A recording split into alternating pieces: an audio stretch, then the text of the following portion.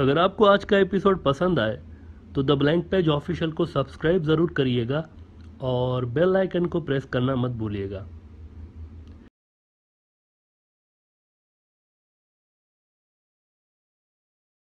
नाजरीन, इस वक्त दुनिया में 195 मुल्क हैं। यूनाइटेड नेशंस के फुल मेंबर जो है ना, वो तो 193 है, लेकिन दो ऑब्जर्वर मुल्क हैं यूनाइटेड नेशंस के अंदर। इसके अलावा भी दुनिया में चंद और मुल्क हैं, लेकिन उनको दुनिया रिकग्नाइज नहीं करती। तो कुल मिला के 195 ऐसे मुल्क हैं जो कि यूएन के मुल्क की डेफिनेशन में आते हैं और यूएन उनको मुल्क मानता है।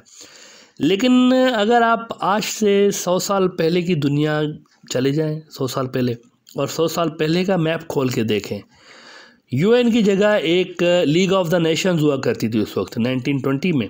और उसमें कितने मुल्क थे? 48 तब दुनिया में 48 मुल्क थे 100 साल पहले।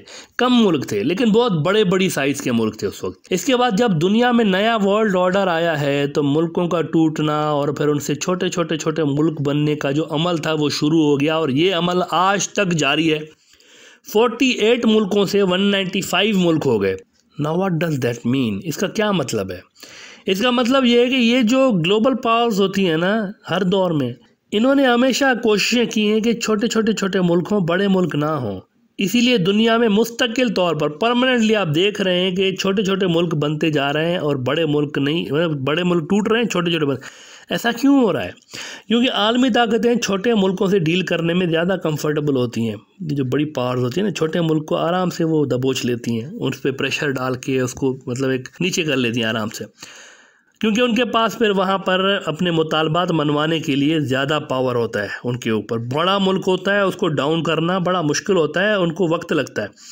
इस वक्त भी दुनिया में अगर आप देखें, कई बड़े मुल्क ऐसे हैं जहाँ पर सेपरेटिस्ट मूवमेंट्स अपने अरूज पर हैं। इनकी मिलिट्री के लिए एक्सटर्नल थ्रेट्स अलग से हैं ह्यूज लेवल के। इन बड़े मुल्कों से मजीद छोटे छोटे मुल्क बनने की भरपूर संभावना है। मिसाल के तौर पर यूक्रेन। यूक्रेन का एक हिस्सा वो है जो कि प्रो रशिया है रशियन स्पीकिंग है। और अंदरूनी वियर एंड टीयर के अलावा उसके बॉर्डर पर भी रूसी फौजें खड़ी हुई हैं।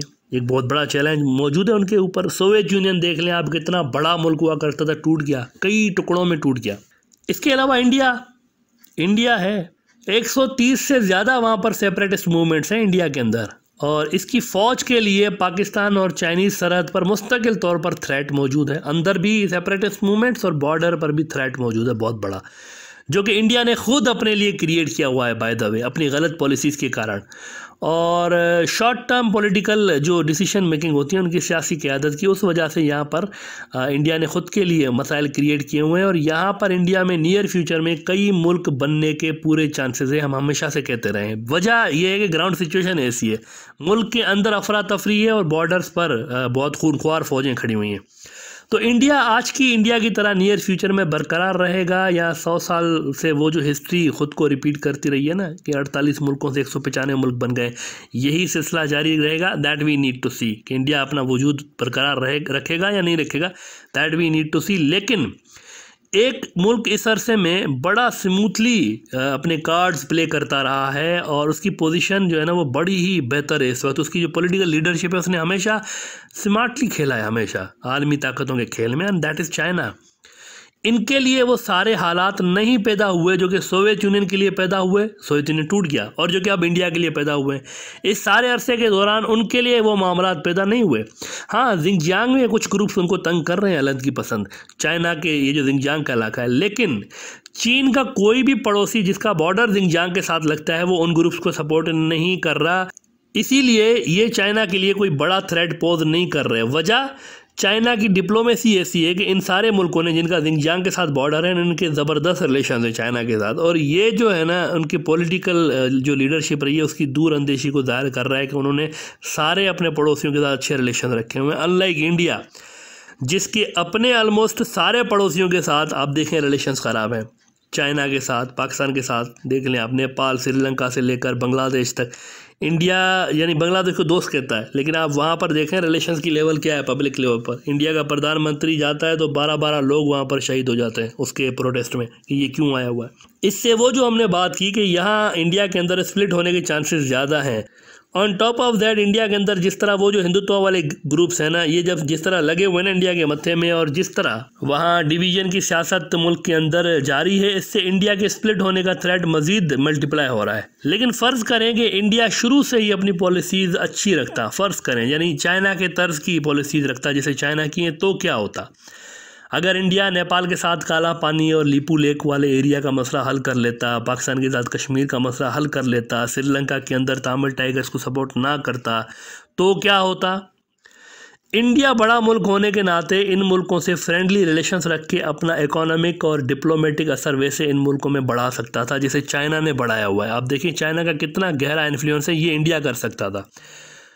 अगर चाइना की जगह इंडिया पहल करता अब इस रीजन के अंदर इन्फ्लुएंस बढ़ाने के लिए, और उसके पास एक फ़र्स्ट मूवर एडवांटेज भी होता जो कि चाइना ने बाद में ले लिया। इंडिया के पास नेचुरली ये कार्ड इंडिया के पास था, होता। इंडिया का ये रीजन है ना सारा साउथ साउथ एशिया इंडिया का पड़ोस है।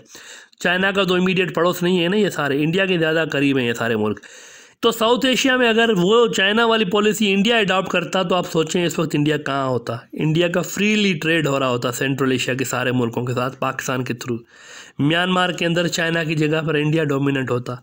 श्रीलंका तमिलनाडु से पचास किलोमीटर दूर अपने जफना डिस्ट्रिक्ट पर चाइना को ना लाता। यानी चाइना को लाने से पहले वो सौ बार सोचते कि हमारा मित्र है इंडिया, वो लेकिन उन्होंने सोचा ही नहीं।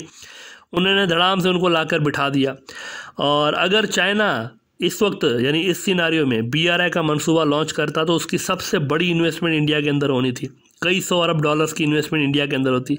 बांग्लादेश में इंडियन प्रधानमंत्री एज वी सेठ कि अगर उसके आने पर इस तरह लोग न, ना मरते बारह बारह लोग और लाखों लोग सड़कों पर ना होते, ये हाल ना होता बांग्लादेश के अंदर।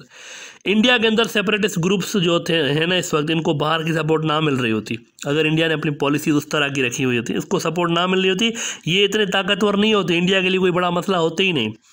इंडिया का अगर मुकम्मल फोकस जंगों की बजाय अपने पड़ोसियों को तंग करने की बजाय यहाँ पर होता ना इकोनॉमी पे तो इंडिया में आज पाकिस्तान की आबादी से भी ज़्यादा लोग गुर्बत की सतह से नीचे ज़िंदगी ना गुजार रहे होते। बल्कि हो सकता है कि इंडिया चाइना से भी आगे निकल चुका होता। लिहाजा इंडिया के पॉलिसी मेकर्स को सोचना चाहिए कि पाकिस्तान के साथ बुरे रिलेशंस बांग्लादेश और वहाँ के मुसलमानों के ख़िलाफ़ बुरे रिलेशंस और अंदरूनी सियासत जो एंटी मुस्लिम सियासत चल रही है, इस सबने आखिर क्या दिया इंडिया को? इंडिया ने कौन सा तीर मार लिया है? इस पॉलिसी ने आज तक इंडिया को क्या दिया है इस रवश ने? इंडिया को एक्सटर्नल फ्रंट पर डैमेज ही किया हुआ इस रवश ने। देखें, दो फ्रंट, एक हॉट फ्रंट्स बने हुए हैं। अंदर वियर एंड टीयर जारी है। तो क्या फिर भी इस फ्लॉप पॉलिसी को कैरी ऑन करना चाहिए या अब वक्त आ गया है कि एक नए पावर नए डायरेक्शन की इंडिया को ज़रूरत है इस वक्त? सेक्युलर पॉलिसी को लेकर सारे पड़ोसियों के साथ अपने जो इश्यूज़ हैं, उनको रिजॉल्व करके अगर इंडिया नई डायरेक्शन में चलता है और वो पॉलिसी अडॉप्ट कर ले जो कि कभी चाइना ने की थी तो इंडिया के लिए बड़ी बचत हो सकती है। अदरवाइज़ इंडिया के लिए survival as a single country बड़ा मुश्किल नज़र आता है, क्योंकि as we said in the beginning के जो बड़े मुल्क होते हैं ना ग्लोबल पास जो होती हैं, वो बड़े मुल्कों को सपोर्ट नहीं करते, उनके लिए छोटे मुल्क अच्छे होते हैं, वो उनको सपोर्ट कर रहे होते हैं, उनको मैनेज करना, उनको हैंडल करना उनके लिए आसान होता है।